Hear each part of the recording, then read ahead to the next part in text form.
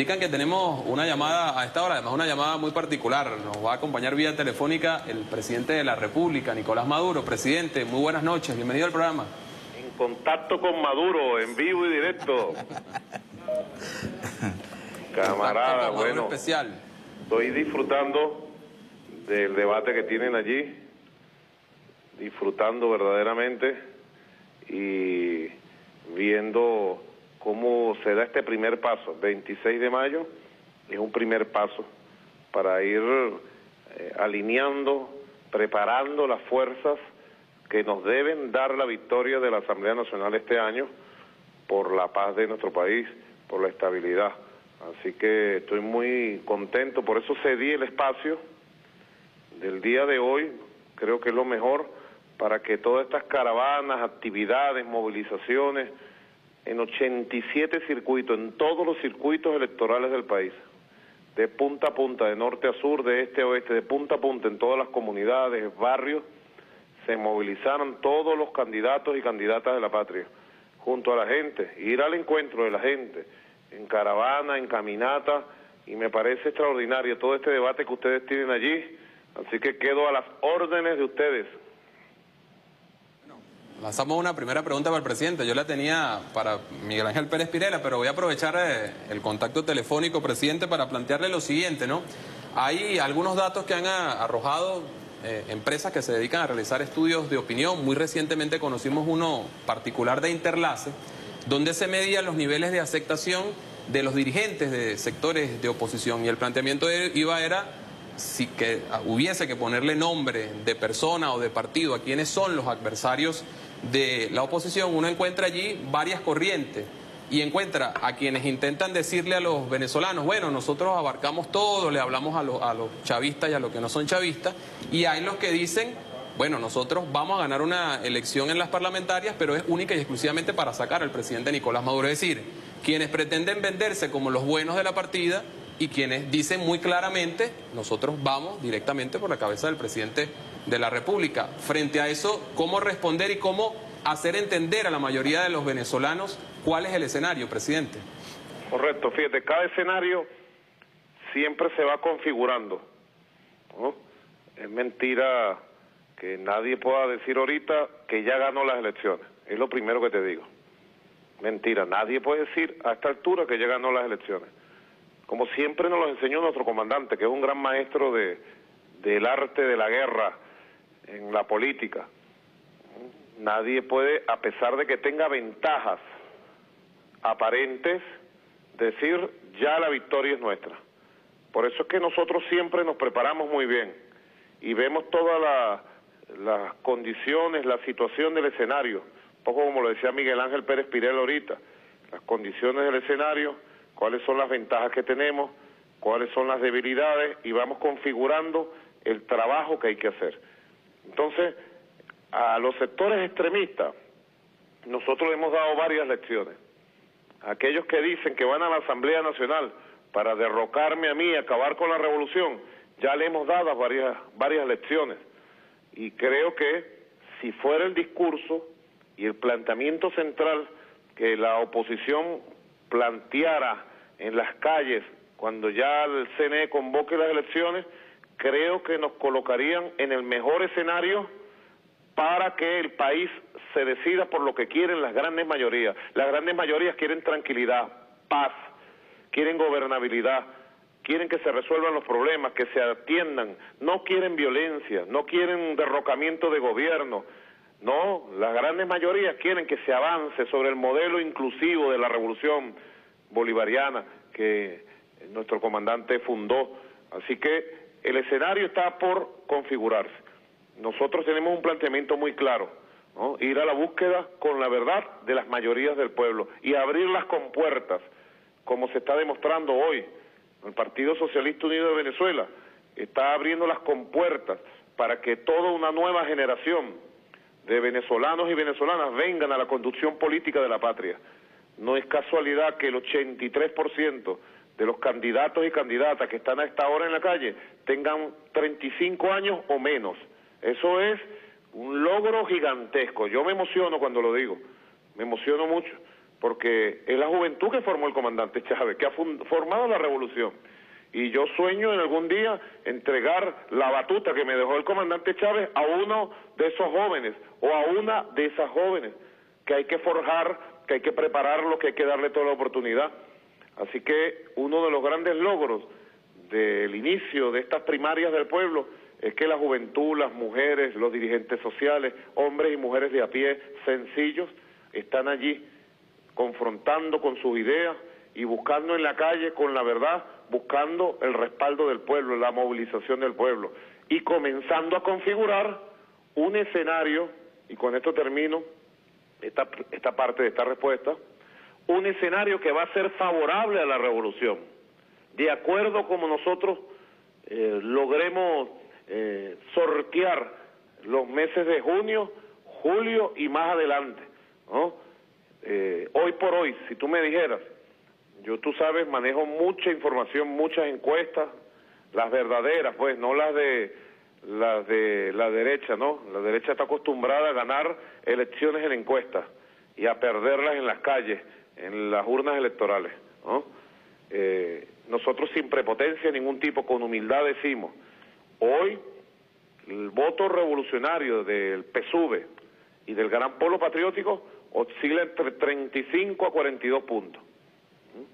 Y el voto de todos los partidos sumados de la derecha oscila entre 20, 22 a 30 puntos. Hay diferencias en distintas encuestas de 8 puntos, de 10, de 15 puntos, ¿no? Quiere decir, en el mejor de los escenarios, que nosotros podríamos estar unos 10 puntos arrancando la campaña arrancando en medio de una guerra económica brutal, en medio de una guerra de bandas criminales articuladas por los paramilitares colombianos y la ultraderecha venezolana, en medio de diversas circunstancias sumamente difíciles. Por eso yo he venido diciendo, Luis, compañeros, todos, he venido diciendo, nuestro pueblo sabe enfrentar dificultades, sabe luchar sobre las dificultades y cuando se le abre la luz de una batalla sabe construir la victoria es un pueblo que ya tiene un patrimonio muy grande en, esta, en este tipo de batalla. Presidente, eh, quisiéramos también consultarle su análisis porque estas eh, elecciones internas del Partido Socialista Unido de Venezuela se hacen en un contexto bastante particular. En primer lugar, son las primeras parlamentarias o serían las primeras parlamentarias sin la presencia física del comandante Hugo Chávez. También tenemos un contexto económico bastante particular, tenemos un constante sabotaje político. Ayer, de hecho, el compañero Miguel Ángel eh, Pérez Pirela hizo una muestra de ello, pero también tenemos la propuesta del Partido Socialista Unido de Venezuela de que para estas elecciones el chavismo vaya con una representación de un 50% de jóvenes, un 50% de mujeres. Ante, ante este contexto o con este contexto, ¿cuál debería ser la propuesta eh, que usted está diciéndole como líder a estos aspirantes a parlamentarios que deben llevar a las calles en esta primera semana? Bueno, María Ángela, Marian Alejandra, perdón, María Alejandra. Este, eh, efectivamente, yo te podría decir, agregando a tu reflexión y a tu pregunta, nosotros estamos frente a una derecha que no va a hacer campaña electoral. No la ha hecho en los dos años, en los 25 meses, un poco más, que yo he sido presidente ni en los dos años y medio desde la pérdida del comandante Chávez. Ellos no han hecho política. Cuando ha habido campañas electorales, el caso del 2013 no hicieron campaña, hicieron guerra. Ya este año comenzaron desde casi el primero de enero a hacer guerra, guerra, guerra, guerra. Ellos no hacen campaña. Es muy lamentable que pese a la fuerza de la nueva democracia constitucional que nació de la constituyente del 99, no tengamos una oposición, una derecha, con un proyecto político, con líderes políticos que salgan a las calles a ganarse con su propuesta, con su trabajo, a ganarse porque son mejores gobernadores o porque son mejores alcaldes o porque son buenos diputados que salen con proyectos de leyes, no. Salgan a ganarse el favoritismo público, el apoyo público, no. Ellos salen por debajo, en silencio, salen a hacer daño, a hacer daño. No es la primera vez, lo sabemos. En algunos casos lo hemos conseguido con las manos en la masa, como se dice, como ayer el video que en primicia nacional y mundial sacó Miguel Ángel. Ellos salen a calcular, a hacer daño y luego a cosechar la desesperanza, a cosechar el descontento, el dolor. Para nadie es un secreto que las grandes empresas, los grandes pelucones, como los llamo yo, capitalistas de este país, son, eh, digamos, eh, uña y sucio con la derecha venezolana. Inclusive calculan y coordinan golpes locales, regionales ahora. Sobre todo eso estoy trabajando y preparando una respuesta que será demoledora en los próximos días o semanas. La vamos a aplicar, hoy estuve todo el día trabajando con el equipo, tanto económico como el equipo de seguridad nacional, porque es un tema de seguridad nacional. Una gente que no hace política, lo que está haciendo es guerra económica. Y entonces calculan con los grandes dueños de las grandes distribuidoras, de las grandes comercializadoras, calculan golpe por golpe, inclusive locales, por zonas. Su campaña no es una campaña electoral de proponer, de demostrar, no, es hacer daño por debajo. O con la guerra ahora, la alianza con bandas criminales, donde es más fuerte la alianza en el Estado Miranda, saben ustedes. Directamente del gobernador, bueno, que se ha venido a nada, lo que dijo José Vicente en estos días, de ser un líder de la oposición ahora es un problema. Ahí en Miranda es brutal la alianza con bandas criminales que le pagan con drogas, le pagan con dólares para que salgan a hacer desastres en las calles. Ya nosotros desarticulamos hace exactamente cinco o seis días a una banda allí en, en Petare. Ahí están todas las pruebas que mostró el ministro González López, lamentablemente tapadas y escondidas y censuradas por la prensa burguesa. Así que la campaña de ellos previsible, clara y directa es hacer guerra y luego salir ellos a tratar de cosechar descontento, desesperanza. Nuestra campaña cuál es? Enfrentar dificultades, gobernar, resolver, mantener la paz, construir y ampliar las misiones, la misión, gran misión Vivienda Venezuela, Barrio Nuevo, Barrio Tricolor, Hogares de la Patria, Barrio Adentro, fortalecer la educación pública, fortalecer los movimientos sociales y darle poder con los consejos presidenciales de gobierno, de las comunas, de los campesinos, de los trabajadores, de la juventud, de los estudiantes, de los maestros, construir poder popular y salir con nuestra fuerza organizada a movilizar el pueblo, por encima de las dificultades, construyendo victorias todos los días, movilizar al pueblo, y plantear una gran victoria para darle una lección a esta gente, para darle una lección a esta gente. Yo creo que se va a movilizar, lo vaticino desde hoy, 26 de mayo, va a haber un gran voto castigo en las elecciones parlamentarias, un gran voto castigo, pero no es como dicen los escuestólogos de, de los pelucones contra el gobierno, no, el voto castigo va a ser contra la derecha, contra los violentos, contra la ultraderecha y contra todo lo que ellos representan. Ustedes verán Anótenlo ahí, guarden este video para que ustedes vean cómo la campaña nuestra de levantar la esperanza, de enfrentar dificultades, de construir, de ampliar las misiones, de movilizar al pueblo, de darle protagonismo, protagonismo y poder a los humildes, va a ser una vez más exitosa. Sí, presidente, ahora aquí les habla el otro ancla que tenemos aquí, que se incorpora a este programa el día de hoy. Y bueno, me han permitido el honor también ahora de ejercer el periodismo y realizarle la próxima pregunta, presidente. y militante. Sí, hablando de esperanza, hablando de futuro, presidente, nosotros creemos que la juventud venezolana hoy tiene una convocatoria abierta, una oportunidad directa, sincera, y usted hacía mención de la participación protagónica en más del 73% de todos los candidatos y candidatas que van ahorita a la campaña interna son jóvenes. Y cuando veíamos ayer presentado este video, esta grabación por parte de nuestro periodista Miguel Ángel Pérez Pirela, de cómo estos actores de la ultraderecha venezolana nuevamente veían en la juventud que le hace vida en la oposición, en este sector de la oposición, la veían como carne de cañón como nuevamente la posibilidad de desarrollar la agenda golpista, desestabilizadora, bueno, que perturbe la paz del país. Y yo le preguntaría, presidente, ¿cuál es el mensaje que usted le da a la juventud en general del pueblo venezolano? ¿Cuál es el mensaje que usted le da a la juventud que de este lado, bueno, está participando abiertamente en esta campaña? Y por, y por, y por otro lado, bueno, ¿cuál es el mensaje a esa juventud que hace vida en la oposición venezolana, que no se deje llevar nuevamente por estos cantos de sirena? Eh, que la oposición venezolana y la ultraderecha venezolana pretende en un sector de la juventud, en un sector de los estudiantes, llevar agendas golpistas y atasgos inconstitucionales a la paz y a la estabilidad del país. Adelante, presidente. Gracias, Víctor. Bueno, el mensaje yo creo que lo estamos dando todos los días. Cuando convocamos y configuramos el Consejo Presidencial de Gobierno Popular de la Juventud y los Estudiantes. Cuando se constituye con las bases en cada liceo la Federación Nacional de Estudiantes de Educación Media. Cuando se constituye la Coordinadora Nacional de la Educación Universitaria. Cuando movilizamos la misión eh, jóvenes de la patria, Robert Serra, en todas las comunidades del país, en las bases de misiones socialistas.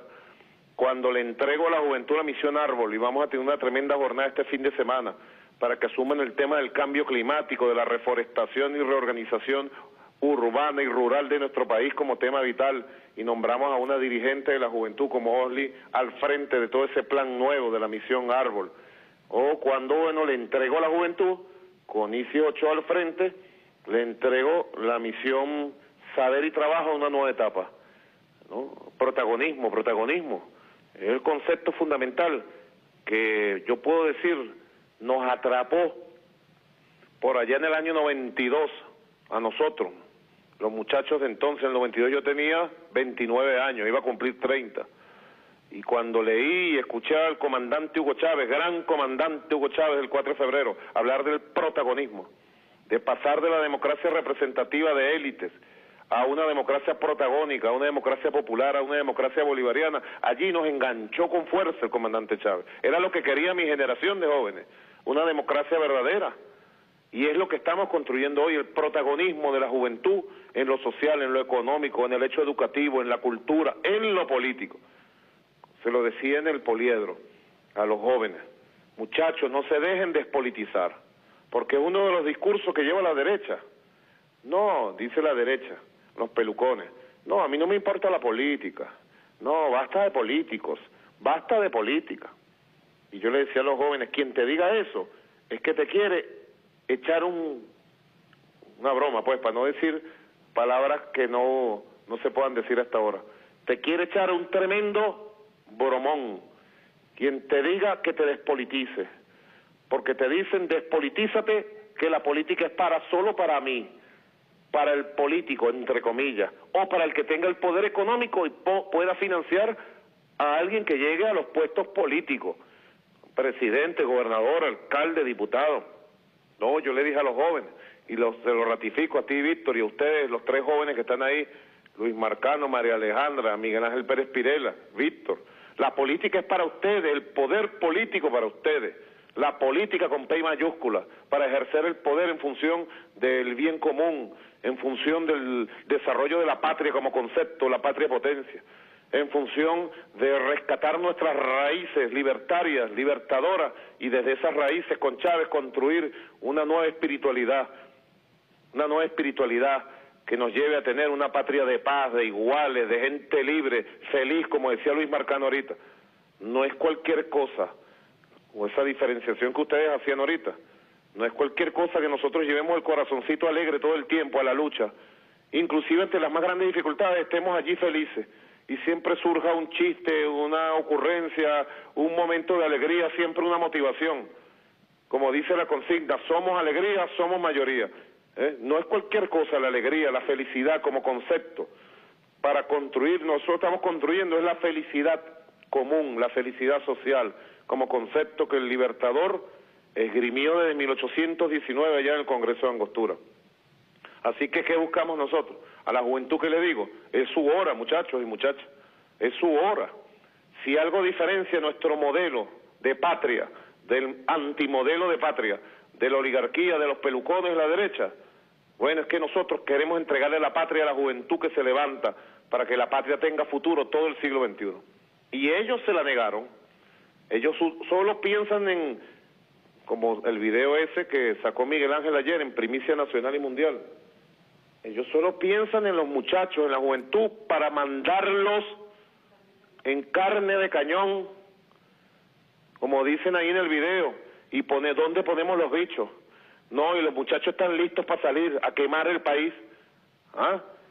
Ese es el modelo de ellos, de la violencia, de la utilización.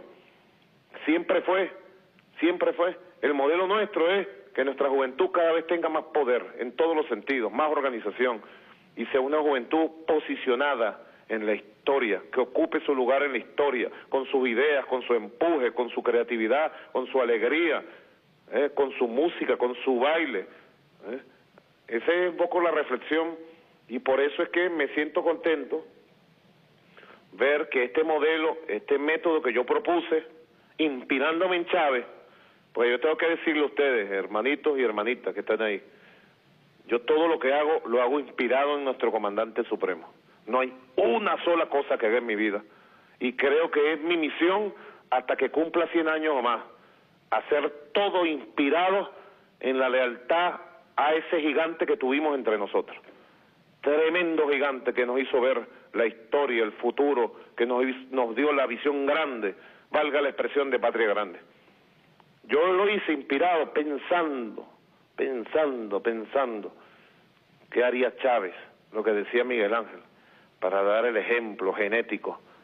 ¿Cuál es el ejemplo genético que puede dar el PSUV a la historia política de la patria en este momento? Hacer unas elecciones primarias del pueblo y que la mitad sean jóvenes menores de 30 años hasta 21, la mitad jóvenes maduros mayores de 30 años y la mitad mujeres. Y lo logramos. Y yo creo que el resultado del 28 de junio va a ser sorprendente. Yo me alegro mucho de ver todos esos jóvenes de 21 años, 22, 23, 24 hablando, moviéndose. Inclusive es un reto para ellos, se los digo. Perdona que me extienda, pero es un reto para yo yo lo veo así. Es un reto para un joven que es dirigente en su comunidad, o es dirigente en la universidad, o es dirigente en una fábrica o es dirigente en un medio de comunicación como ustedes, que son líderes de, opinión pública allí en los medios. Es un reto salir a la calle ¿ah? y dar la cara y hablar casa por casa y escuchar y la crítica y la opinión y tan y orientar al pueblo y para adelante. Es una escuela. La calle, con sus dificultades y con sus verdades, es una escuela para nuestra juventud que se está forjando. Y esa escuela es la mejor escuela, porque la escuela de la derecha es eh, un cursito, quién sabe dónde, en Miami, otro cursito en Cúcuta, y luego vienen para acá a la maldad. Y entonces le ponen las cámaras, no importa lo malo que sean como dirigentes algunos, y van criando monstruos, como criaron el monstruo de aquí de Miranda. Que no, nadie lo critica. Está poniendo la torta ahí como gobernador, pero nada, ni un solo medio de la derecha es capaz de decir parte de la torta que él pone allí, ¿no? ¿Eh? Y entonces tiene unos monstruos allí que no sirven para nada. Bueno, allá ellos. Nosotros no, nosotros forjemos líderes, lideresa, forjemos gente que de verdad, eh, digamos, le diga algo a esta patria. Y cuando nosotros nos toca entregar ya la bandera, ¿no? A quienes vienen atrás, esos que vienen atrás sean infinitamente superiores a todos nosotros. Ese es el reto y creo que lo vamos cumpliendo. ¿Cómo está, presidente? Un gran abrazo para usted.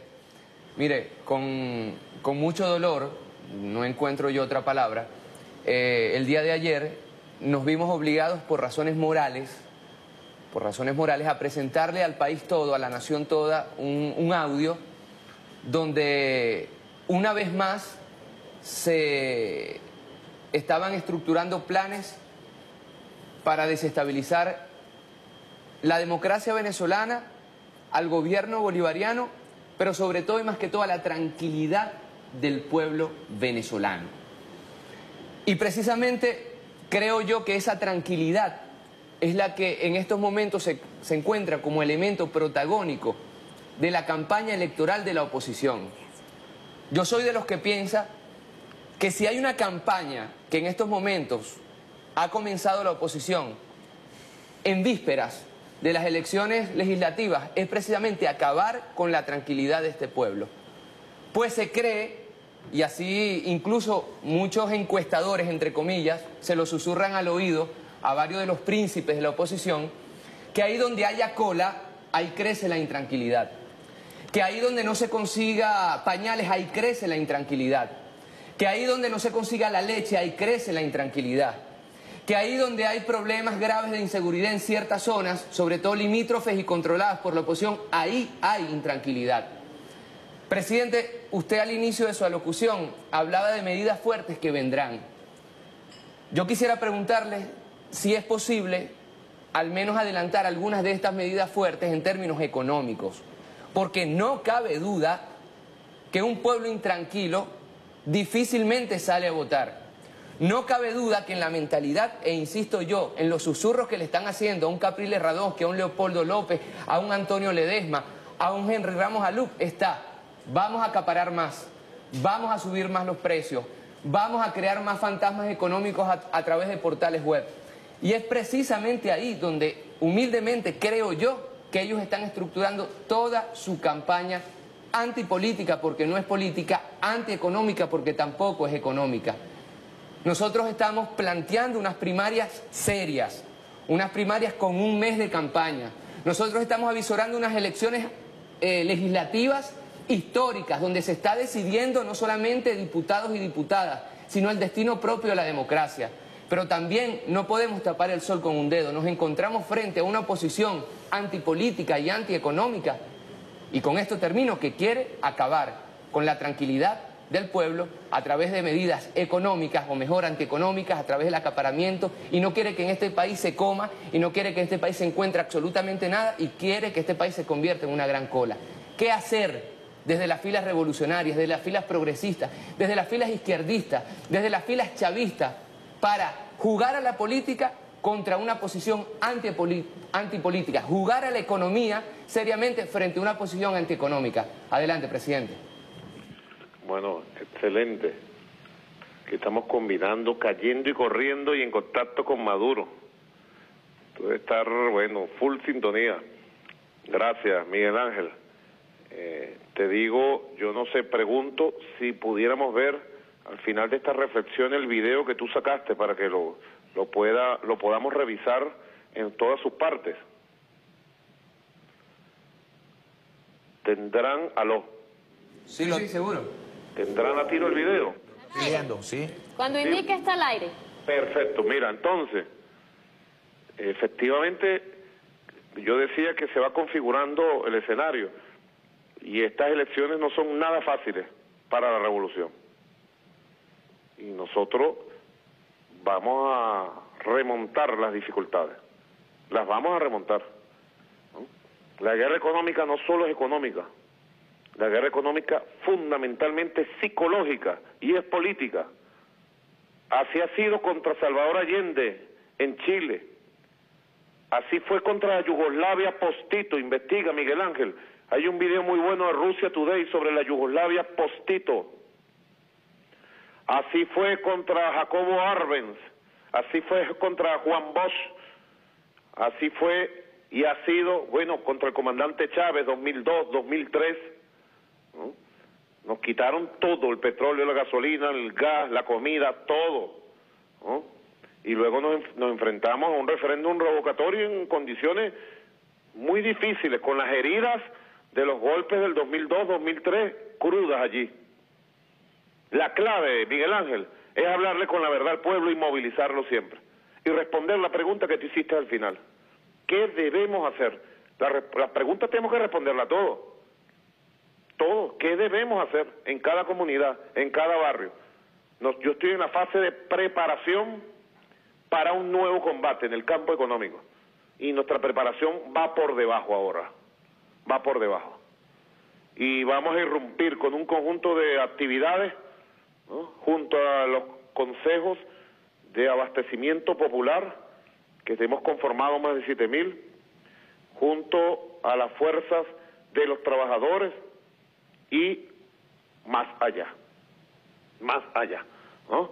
En su momento, en su momento. Eh, lo que sí he observado es un enloquecimiento total, un enloquecimiento total desde Miami. Fíjate los ejes cómo se mueven. Miami, Bogotá, Cúcuta, diríamos, Colombia, Madrid. Desde Cúcuta dirigen todo un ataque a la moneda. Allí tenemos un conjunto de medidas que vamos a tomar y vamos a exigir. Desde Miami, a través del portal que ustedes saben, un portal de la ultraderecha que se dirige desde otro país, es uno de los temas que estamos conversando con Estados Unidos, desde Estados Unidos, desde Miami, se dirige todo un ataque que es tan burdo que ellos mismos se han vulgarizado por la misma locura, les entra como una locura, pues. ¿Quién sabe bajo qué efectos, de qué tipo de sustancias le entra una locura? Y atacar la moneda y tratar de imponerle al país una realidad económica que no tenemos. Afortunadamente, Miguel Ángel, en Venezuela no va a haber, ni ha habido, ni habrá dolarización. Nuestra moneda orgullosamente es y será siempre el bolívar. Y los recursos que entren en divisa, seguiremos invirtiéndolos, a veces invisible, como decía el comandante Chávez. Seguiremos invirtiendo cada dólar que hemos parido este año. Nos bajó de 100 a 40 el ingreso. Cada dólar que hemos parido seguiremos invirtiéndolo en vivienda, en educación, en salud, en alimento para el pueblo, para que el pueblo tenga su alimento en su hogar, ¿eh? en Barrio Nuevo Retricolor para reurbanizar todo el país, en cada misión, en cada gran misión, cada dolarito que entra, cada vez con mayor efectividad y concreción. ¿Qué hubiera pasado en este país si con un gobierno de un oligarca pelucón baja de 100 dólares a 40 el ingreso? La incertidumbre a los trabajadores, a su empleo, a su salario, a su vida, y a los estudiantes de este país y a toda la comunidad popular sería total la incertidumbre de medidas en contra, reduciendo, eh, eh, ¿cómo se llama?, presupuesto, cerrando universidades, etcétera, etcétera. Y este año, bueno, hemos tenido el efecto contrario, el efecto en medio de una resistencia, de una batalla de resistencia, ¿no? Y lo aclaro porque la campaña ha sido brutal, ¿no? Nuestra moneda bueno, la vamos a seguir defendiendo. Y que nadie, ningún pelucón se vista que no va.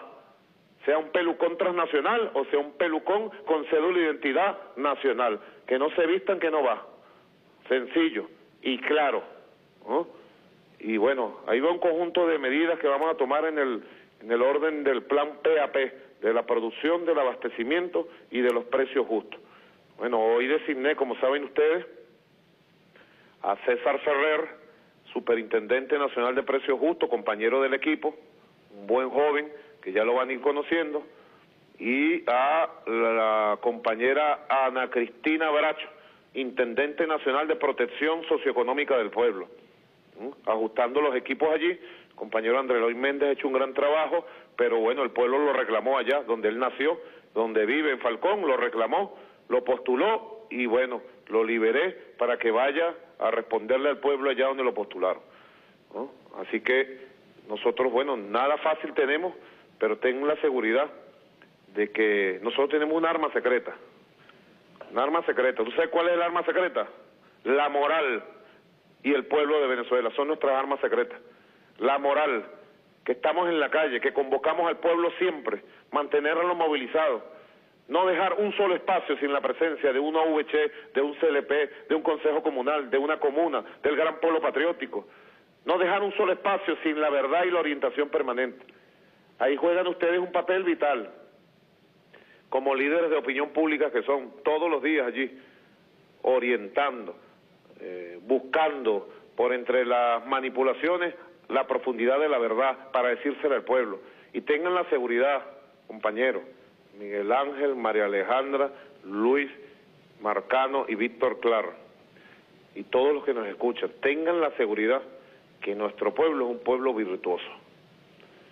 Y cuando se define el escenario que está por definirse, iremos a una muy buena victoria política, electoral, a una victoria que va a poner en su lugar a los que tienen que poner en su lugar.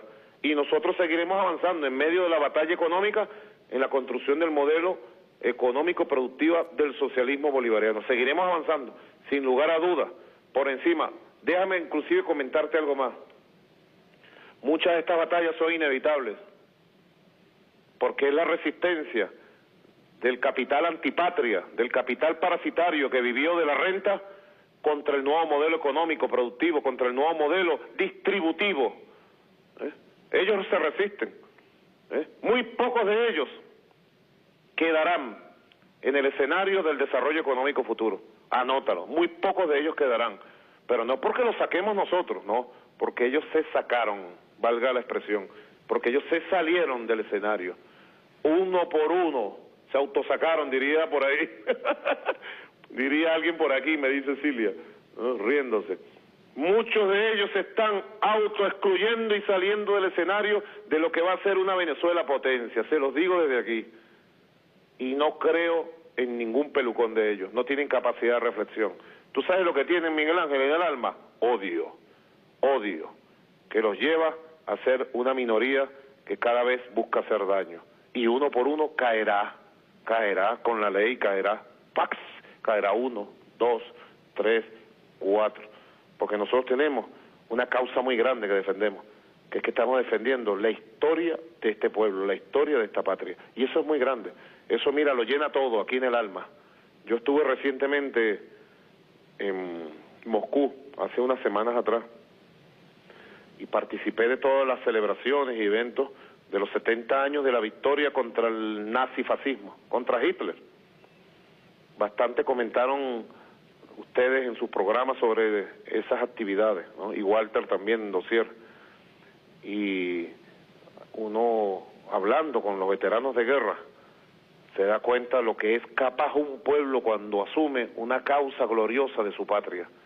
Cómo fueron capaces ellos, los rusos, los soviéticos, de parar con su pecho. 27 millones de muertos, parar con su pecho los tanques nazis. Y luego llegar hasta Berlín. Nosotros llegaremos hasta Berlín, Miguel Ángel, ¿oíste? En las elecciones llegaremos hasta Berlín, ten la seguridad. Griten, lloren, pataleen, hagan lo que hagan, nosotros llegaremos hasta Berlín y pondremos la bandera tricolor ahí. Paz, el día H, la hora D, cuando el CNE diga, ahí vamos como lo diga, cuando lo diga, ahí estaremos. Bueno, yo, yo pediría, si es posible, ver el video, compartir el video. ¿Qué les parece? Sí, presidente, ya lo tenemos ahí a tiro y vamos a, a verlo y a escucharlo. Dale, pues. Ese video tiene que ser ya en la noche y convocar la calle. Es un masivo sábado contra este peo y el petitorio son cuatro ahora. Y luego convocar una gran manifestación, no, esta vaina va a meter un coñazo carrito por estudiantes nuestros de la Chabola. Eh, se va a ver un campamento frente a la ONU. Un campamento que Esta vaina tiene impacto. ¿No me dicen ellos? Es un de impacto, chamo, que sea viral. Tienen éxito en dos los formas cinco días tienen que alcanzar tal cosa. Los cinco días es la marcha, weón. Por eso, por eso. Diez días tenemos que hacer tal cosa, quince días tenemos que hacer. Apenas salga eso, para venir a voltear esta mierda, tenemos que tener sembrado, mandamos por el bicho. Esa vaina eléctrica maduro, la vaina con los Ok, presidente. ¿Está de acuerdo, no? Sí, sí, este, este equipo de coordinación ah, ya el gato, no, güey. Ya tiene grupos en Maracay, en Barquisimeto, Vicente, Macataña. Entonces Vicente monta su vaina, Se vuelve a la profesional. Por ejemplo, Vicente, Richardo, Freddy. Freddy. Ajá. Lo que yo propongo, yo. El, el 30. ¿Tú crees que la gente salga manifestada o no? No, la está sumando afuera. La, la oposición va a responder, weón, rudo contra nosotros. Y si, y si los carajos lo critican, weón, es decir, hermanas, que entonces no contamos con ustedes, weón. Bueno, allí veíamos el, video, presidente, compañeros, y yo me voy a permitir a propósito del mismo hacerle un par de preguntas, presidente. La primera es que me llama la atención dentro de las tantas cosas macabras que allí se mencionan, el generar acciones de violencia para trancarle el juego a Maduro con los gringos. Yo le preguntaría, presidente, ¿qué interpreta usted de esta, de esta conversación en este aspecto de, de dirigentes de sectores de oposición en algunos estados del país, lo cual es un hecho eh, digno de ser investigado y de ser aplicada la justicia donde corresponda, porque están evidentemente y claramente eh, identificados allí por estas dos personas que conversan, Leopoldo Leopoldo López y Daniel Ceballos. Entonces, su opinión acerca de estos dos aspectos, presidente. Bueno, así trabaja la ultraderecha, ¿no? Así trabaja la ultraderecha. Y me dicen que esto es apenas la punta del iceberg de lo que hay sobre todo este tema, del nuevo escenario de violencia que ellos buscaban. Yo lo dije como jefe de Estado y lo repito aquí frente a ustedes, queridos hermanos y hermanas. Se acabó el tiempo de la doble tanda, se acabó. Cuésteme lo que me cueste a mí. Aquí en el mundo lo que me cueste. No me importa lo que digan en el mundo. Ya ustedes ven los resultados electorales de España, todos los ataques, y resulta que bueno, las tablas en la cabeza le quedaron a los que nos atacaron. Quedaron secos, eso es como un decreto del destino y de la historia, todo el que se mete con Venezuela queda seco, allá quedaron secos. Pero yo como jefe de Estado me la juego completo por la paz del país y no voy a permitir doble banda, doble tanda, doble juego, que andan por debajo destruyendo y buscando violencia y buscando muertos y se presentan con su cara bien lavada a elecciones. Eso se acabó. Se acabó. Tengan la seguridad que se acabó. Y salgan a chillar y a llorar, no. Una sola banda, el que venga por la vía de la democracia, de la política, de la constitución, puede salir con sus ideas y ganarse los votos. Y si ganó, es diputado. Y si ganó, es gobernador. Y si ganó, es alcalde. Etcétera, etcétera. ¿No? Tienen espacio político aquí toda la oposición para hacer lo que quiera hacer y ellos lo saben. Al que se descubre este tipo de cosas, no. La ley tiene que aplicarse en su máxima dimensión, con su máxima dureza, con su máxima puño de hierro a la doble tanda, al terrorismo, puño de hierro, con todo hay que caerle. Y ellos que son los victimarios tratan de presentarse siempre como víctimas. Y son los victimarios los que están buscando matar al pueblo. ¿No? Entonces ellos, cada vez hay que decir más estas verdades. Es muy duro lo que ellos dicen allí, que van a mover unos bichos, que van a hacer no sé qué cosa, ¿no? Nosotros, yo hoy tuve una reunión con el equipo de Seguridad Nacional, allí estaba todo el equipo, estaba el general Padrino López, González López, el ministro, estaba el director del DGCIN y otros funcionarios que cumplen responsabilidades y valga la expresión, funciones clave en la seguridad del país y estuvimos revisando todo para garantizarle la paz a este país. Y llamo al pueblo, a las comunas, a la VC, a todo el pueblo a ser vigilantes de la paz y a que avancemos cada vez más siendo vigilantes de la paz. Tú me preguntas, Luis, sobre esto que ellos dicen, fíjate. Nosotros sabes que salimos en defensa de nuestra patria, cuando el presidente Obama firmó aquel decreto el 9 de marzo de este año. Y todo eso, las 11 millones de firmas y toda la campaña exitosa de nuestro pueblo y de los pueblos del mundo, la solidaridad y de los gobiernos nos llevó una gran victoria en la Cumbre de las Américas en Panamá. De allí, bueno, hubo un encuentro, yo saludé al presidente Obama, nos saludamos, conversamos y de allí establecimos un mecanismo que ha venido funcionando de conversaciones para regularizar sobre la base del respeto de la igualdad entre los estados, sobre la base del respeto al derecho internacional, regularizar nuestras relaciones entre los Estados Unidos y Venezuela. Ahora, hay muchos enemigos de esto. Los principales enemigos de que tengamos relaciones normales, regulares, de respeto, de tú a tú, con el gobierno de Estados Unidos es esta ultraderecha terrorista. Y ahí está, buscando situaciones de hecho que provoquen que sectores de la ultraderecha ya imperial impidan que esta vez sí tengamos relaciones normales, regulares, de respeto con el gobierno del presidente Obama y los gobiernos que vengan en el futuro. Ahí está uno de los objetivos de ellos, buscando siempre un gran conflicto con Estados Unidos para provocar, bueno, mil formas de intervención contra Venezuela y que los Estados Unidos con todo su poder nos hagan daño.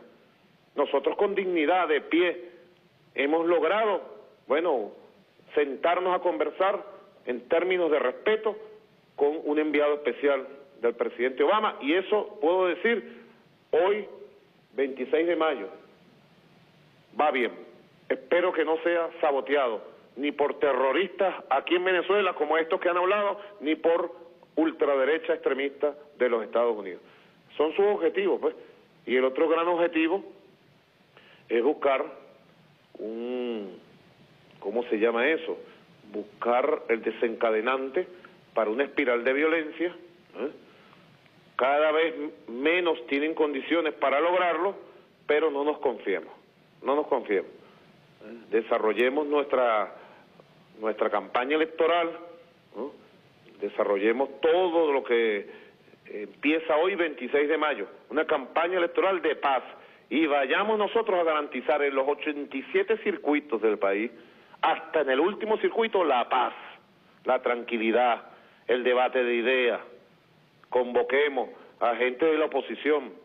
Fíjate, recuerdo, Luis, recuerdo las cuatro fases que estaban hablando ustedes. La primera fase, la primera semana de la campaña, va, arranca con caravanas y visita casa por casa visita casa por casa.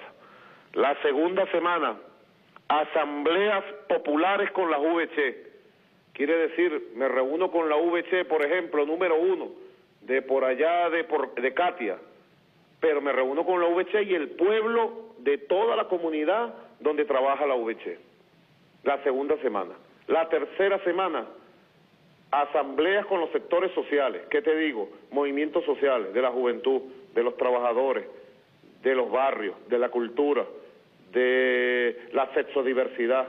Todos los candidatos y candidatas con los movimientos sociales en la calle o en la sede de esos movimientos. Y la cuarta semana, bueno, grandes movilizaciones y campañas para garantizar una gran participación el 28 de junio, domingo 28 de junio, en las elecciones.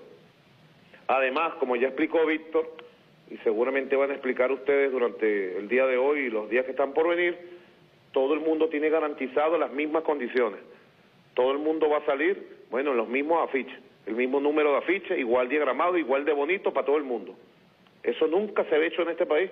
Todo el mundo va a tener su afichito bien bonito para que la gente lo conozca. Aquí está el afiche. Todo el mundo va a tener sus volantes ¿eh? para que la gente entregue su volantico, su propaganda. Todo el mundo va a tener sus propagandas de televisión y de radio, local, regional y nacional, igualito. Todos van a salir todo el mundo va a tener acceso a los programas de televisión, radio, o sea, la publicidad. No va a estar en manos de cuatro que tengan, que no los tenemos, ¿no?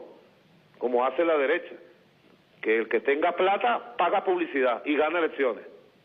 Pero el que no tenga ni medio jamás podrá ser diputado. Esto se acabó. En la revolución bolivariana eso se acabó.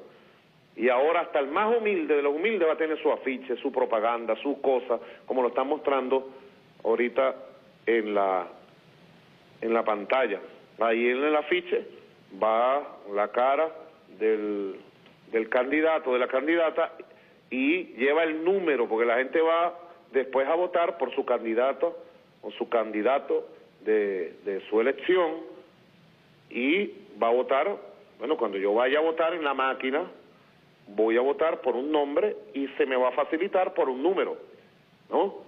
Por ejemplo, quiero votar por el número 5 de mi circuito, entonces voy, Pedro Pérez, 5, Pac y Marco. Esto va a ser realmente una fiesta, esto va a ser maravilloso.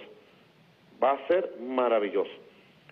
Nosotros sigamos trabajando por una gran victoria y estemos pendientes, alerta todo el tiempo, como somos nosotros, como siempre digo y repito, con las dos manos. Con una mano contenemos a los violentos, los vigilamos, los controlamos y evitamos que ellos vuelvan a los escenarios de violencia. y con la otra mano vamos construyendo, movilizando, defendiendo, superando obstáculos y construyendo victorias.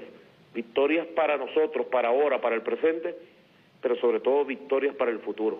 Pensando en esos hijos e hijas maravillosas que tenemos, pensando en los nietos y las nietas que nosotros le estamos entregando una patria para que ellos de verdad puedan caminar libres sobre nuestra patria. Eso debe ser el centro de nuestros pensamientos, de cada cosa que hagamos. Como siempre decía nuestro comandante Hugo Chávez, siempre lo decía, todo lo que hacemos, citando a José Martí, todo lo que hacemos lo hacemos por ellos, por nuestros hijos, por nuestras hijas. La Asamblea Nacional es demasiado importante, demasiado importante, ya lo decía Miguel Ángel, Víctor, la Asamblea Nacional es demasiado importante. Porque la Asamblea Nacional se aprueban las leyes, pues. Si la derecha tuviera mayoría, revertiría todas las leyes que defienden la estabilidad laboral, que defienden a las mujeres embarazadas, que defienden el, derecho a la educación pública, que defienden a los, a los pueblos, pues defienden a nuestro pueblo, a nuestras mujeres, a nuestros hombres.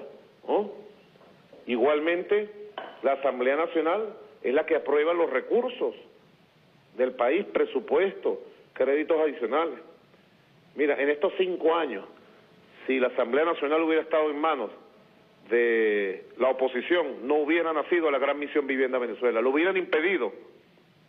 Ellos votan, te puede contar Víctor, que fue secretario de la Asamblea, ellos votan contra los créditos adicionales para la misión Barrio Adentro, para la gran misión Vivienda Venezuela. Ellos votan contra los créditos adicionales para los aumentos de salario. Imagínate tú. Lo votan ahorita, los, diputados que tiene votan en contra de eso.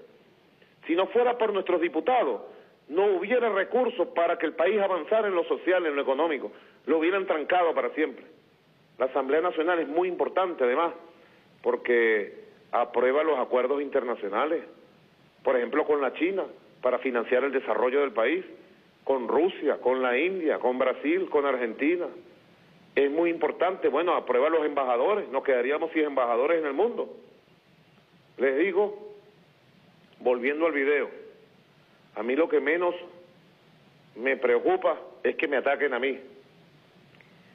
Si me tocara defenderme, yo me defendería. Y sé que el pueblo también saldría a defenderme. No estoy seguro de eso. A mí lo que más me preocupa y más me importa es que surja un nuevo liderazgo en este país y ese nuevo liderazgo se exprese como una gran mayoría definitiva, una mayoría de estabilidad de paz en la Asamblea Nacional que vamos a elegir. Y hoy 26 de mayo arranca el camino hacia la gran victoria que hay que construir, que hay que gestar, que hay que forjar. Y yo de verdad estoy seguro que lo vamos a hacer. Tenemos la experiencia, tenemos el proyecto, tenemos los líderes, tenemos la lideresa, tenemos la verdad en nuestra mano y vamos a tener también la victoria. Yo estoy seguro de eso. Bueno, camaradas, buenas noches, pues. Que Dios los bendiga y en contacto con Maduro se despide por ahora, pero no para siempre. Gracias, presidente. Presidente de la República, Nicolás Maduro, bueno, que nos ha dado varios minutos de, su tiempo con una serie de reflexiones e informaciones interesantes en terreno de lo económico, de lo político, lo electoral.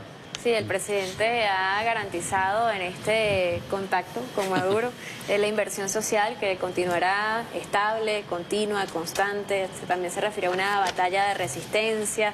Eh, aseguró que se defenderá nuestra moneda y que se están tomando medidas para el PAP de la producción al abastecimiento.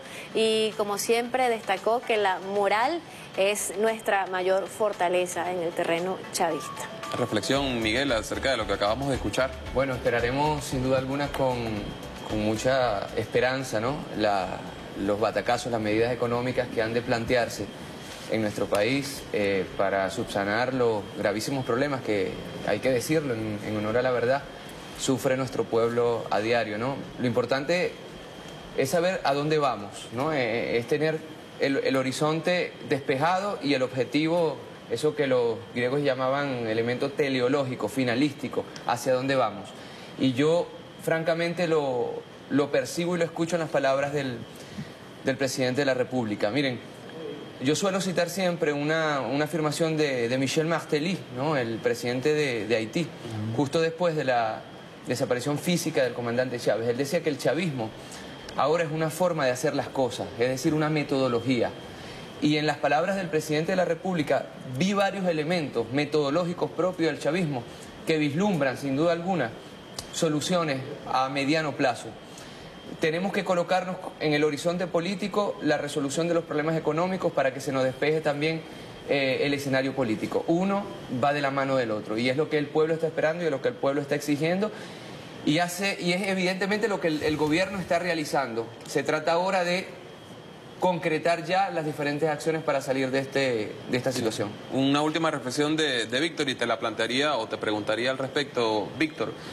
Más allá del chavismo militante, de aquellos que dicen hoy por hoy, a pesar de dificultades, de situaciones adversas, el camino es este, el camino es el de Chávez, el camino es el de la revolución, el, el socialismo. Más allá de ese sector, aquellas personas aún con dudas respecto a quién apoyar en el terreno de lo político y frente a las próximas elecciones, cuál es el mensaje de la revolución y cómo van a llegar desde el día de hoy los candidatos, más de mil, que se han lanzado a las calles en esta jornada. ¿Con qué mensaje y qué Bueno, forma de abordar? Luis, el mensaje, el que siempre hemos tenido, el de la verdad, el de la honestidad de una propuesta que hemos sabido construir durante todos estos años y que no tenemos nada nuevo que inventar en el sentido de que aquí hay un proyecto y es el desarrollo coherente de cómo un conjunto de programas, de cómo un conjunto de medidas, de cómo un conjunto de políticas han venido garantizando y saldando deudas, bueno, de, justicia social que este pueblo venezolano durante años nos llevó la nefasta Cuarta República. Sabemos de las adversidades, sabemos de, la- de las dificultades, de las embestidas que nuevamente la derecha nacional e internacional arremete contra el pueblo venezolano en un año electoral. No es nuevo tampoco eso, Miguel Ángel. Yo recuerdo también años como el 2008, años como el 2010, donde situaciones similares desde el orden económico, desde el orden eléctrico, desde el orden hasta climatológico, que de alguna manera también hasta se presentaban y igualito el pueblo venezolano, igualito la revolución, la organización, la movilización permanente en la calle es la principal garantía y defensa de que lo que nosotros estamos construyendo y defendiendo es la garantía de paz, es la garantía de presente y de futuro, porque frente a lo que tenemos ahí al frente, a la vuelta de la esquina, por parte de la derecha venezolana e internacional, es lo mismo de siempre, es la salida por el atajo inconstitucional, es la salida irresponsable de llevar un país frente a la mezquindad y los intereses particulares. Aquí hay un proyecto serio que le abre las puertas a la juventud, aquí hay un proyecto y una revolución que le sigue abriendo las puertas a las mujeres, a los trabajadores, a los campesinos y con un gobierno firme, que no se arrodilla ante nadie, que defiende los intereses dentro y fuera de nuestro país, con un presidente llevando ese legado al comandante Hugo Chávez y nosotros el año 2015 vamos camino hacia la gran victoria parlamentaria por la paz, por el futuro del pueblo venezolano. Bien. Bueno, Bueno, muchas una gracias. pequeñita pausa. Sí, hay Gracias que a hacer una pausa, pero hay que agradecerle a Miguel Ángel Pérez Pirela, que ha estado con nosotros durante Me la gustó, última me- hora. Me, gustó esta, esta... Víctor, que se estrenó. Esta experiencia. No, la- no- no le agarres el gustito, ¿viste? Te podemos Yo invitar a a la emisión Pirela estelar. en su ejercicio Sí. del periodismo. Así es. Bueno, Si te cortas el pelo, puedes quedando y corriendo. No, yo prefiero entonces seguir mi tarea del partido. Gracias, Miguel. Gracias, Víctor, No, por habernos acompañado. Este espacio no se agota todavía. Primarias del pueblo va a ser una pausa y al regreso nos van a acompañar otras personalidades, dirigentes de la Revolución Bolivariana para seguir conversando acerca y analizando lo que está sucediendo el día de hoy y lo que arranca eh, en este inicio de campaña del PSU. 8 en punto de la noche. Ya regresamos.